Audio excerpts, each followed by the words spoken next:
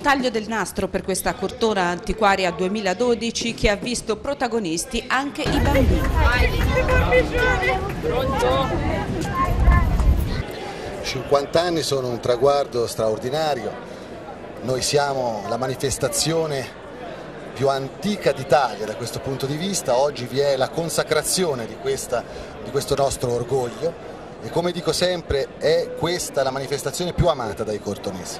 Lo dimostrano anche oggi con questa massiccia partecipazione e l'ha dimostrata l'amministrazione comunale cercando di dare a questa iniziativa un tono ancora maggiore che negli anni scorsi con iniziative particolarmente importanti sfiziose, divertenti, ma anche di grande qualità come nella nostra tradizione. Si respira un bel clima di festa oggi a Cortona, si scaccia un po' anche la crisi economica con queste manifestazioni.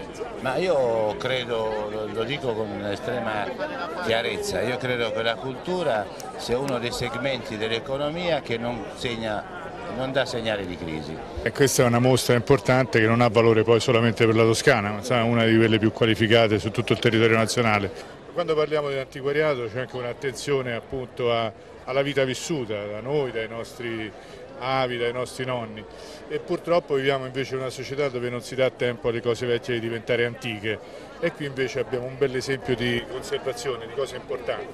Non a caso un museo come questo anche caratterizza questa, questa cittadina che credo sia una delle più belle della Toscana.